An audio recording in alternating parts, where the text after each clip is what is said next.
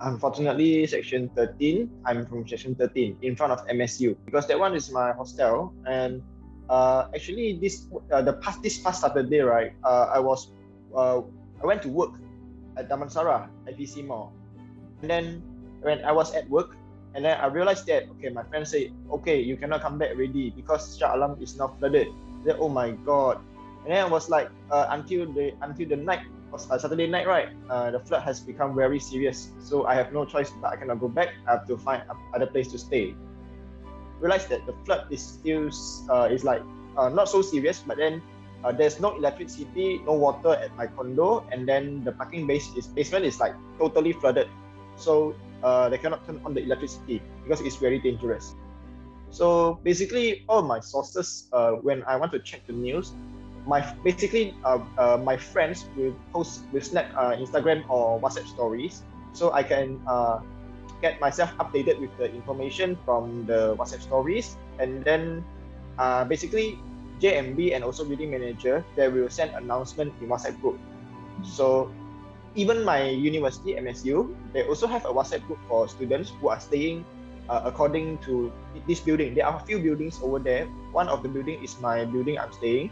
So currently in my parking in the parking basement of my condominium, uh, below the basement level, we have LG and then LG one, A, uh, basement A and then B and then until basement four, all are flooded.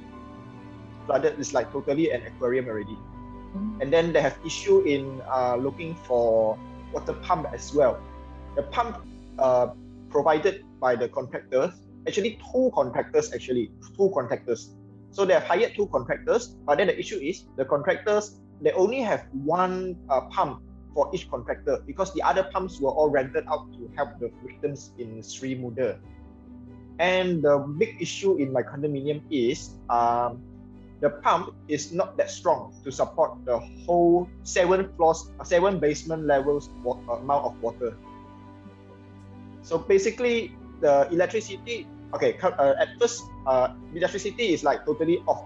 And then the other day, uh, if I'm not mistaken, is from Monday, TNB actually provided uh, 1000 amp uh, worth of current uh, generator to generate electricity for the tenants, but it is only like temporary only. We do not know how long will the generator last.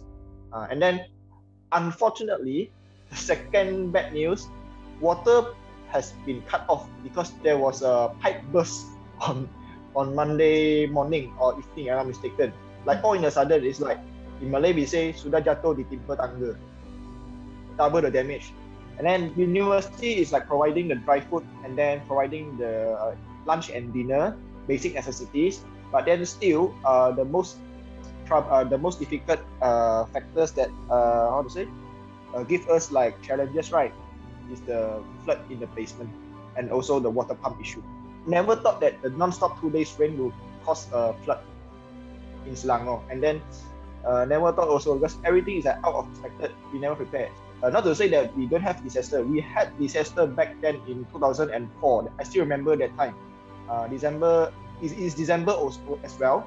And then the tsunami tsunami happened basically it's the same thing. That time, no one expected tsunami will ha- ever happen in Malaysia until the tsunami appeared and then proved everyone wrong. And then this Sri Muda flood, uh, sorry, Shah Alam flood, right, is also like out of expectation because it has not been happening since uh, 15 years ago. 50, 50, 50. So now, what I can say is we should always be prepared. Uh, don't say this is a small issue. Small issue can be a big issue